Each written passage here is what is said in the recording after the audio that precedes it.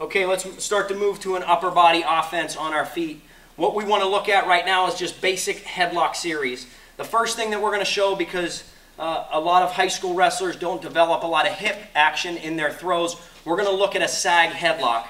The one thing that I do want to point out about this headlock, this sag headlock, I'm a right leg lead, which means I'm going to be punching with my left arm, sagging to my left hip. It's important that we change that up because when we set our opponent up, if I were to try and headlock to my lead leg side, he can almost always feel it. But this hag, sag headlock comes as a surprise because we go from our right leg lead, we lead him to our left, and then we punch and we, we finish our headlock on the left side.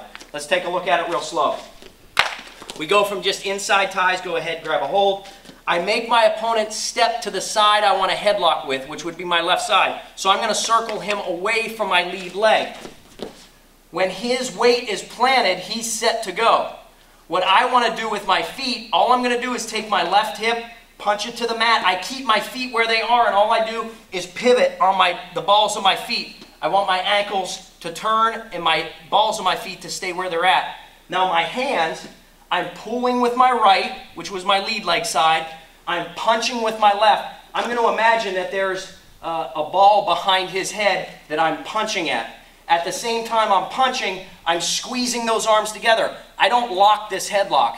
It's a grip and a punch that's going to bring him to the mat. Looking at it real slow, I make him step, punch, pull to the mat.